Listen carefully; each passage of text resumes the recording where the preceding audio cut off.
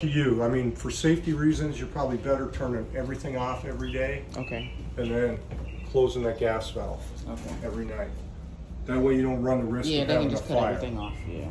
No one's here and you got fire going. No. It's a whole nother level of, you know, you, you wake up and you had a bad day. Okay, so if you want, I can turn these off or I can leave them on. I'm gonna turn them down a little bit. That's cool. But that way when they're cooking, you can leave everything on. Mhm. You know what I mean? And you can still turn the burner off. Okay. Okay. For the oven,